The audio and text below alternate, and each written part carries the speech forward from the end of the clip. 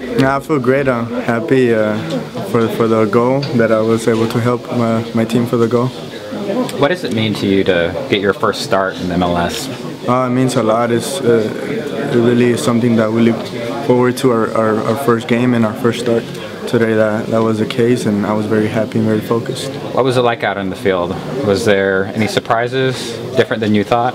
No, I just think that it's always the, the speed of the game. It was very, very fast and something that we have to adjust to. But uh, I feel I had uh, games already and I feel, I feel great and I, I just got to keep keep uh, working towards towards the speed of the game. Talk about the goal. Uh, what did you see on that play? It was a cro nice cross from Carlos. Yeah, I, I always uh, see that Carlos likes to cross first time, so I was running forward, and when I saw that he crossed it, I, I knew there was a chance that it might skip and go long past the, the defender, so I, I increased the speed and got there and shot it first time.